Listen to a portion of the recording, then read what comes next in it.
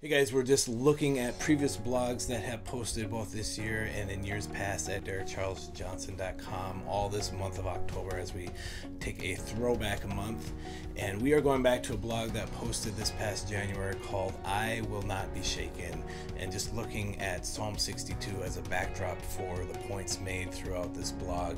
Um, as I look at high profile Christians and, and just people in the faith who have perhaps grown cold in their walk in the Lord or totally gone a different direction, I just question and say, could that be me as well? And so there are times when I just have to reiterate to myself what I believe and just put a, a, a, flag in the ground, just saying, This is what I know as true, and I will not be shaken or moved from it.